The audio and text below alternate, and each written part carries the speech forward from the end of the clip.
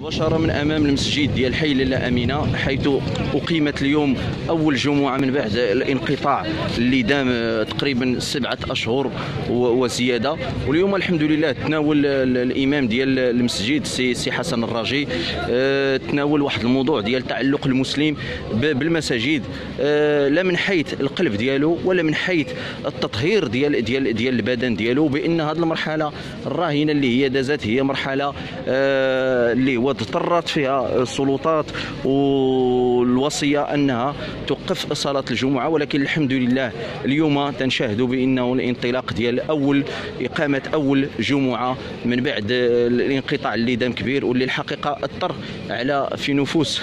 آه، العديد من المواطنين اللي كانوا دائما مواظبين على آه، الإقامات ديال الصلوات الخمس بما فيهم الإقامات ديال ديال ديال صلاة آه، والحضور إلى صلاة الجمعة. والحمد لله تنتمنوا أنه ينتهي هذا الوباء عما قريب إن شاء الله.